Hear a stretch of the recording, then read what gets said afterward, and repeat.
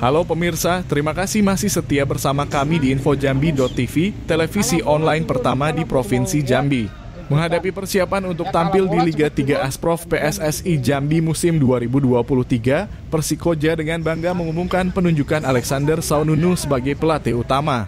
Mantan pemain nasional yang lahir di Denpasar itu langsung memimpin sesi latihan skuad Persikoja pada Jumat sore di lapangan Persijam Kota Jambi. Manajemen Persikoja juga mengumumkan Anthony Diosiaga Putra sebagai asisten pelatih dan Edot sebagai pelatih kiper.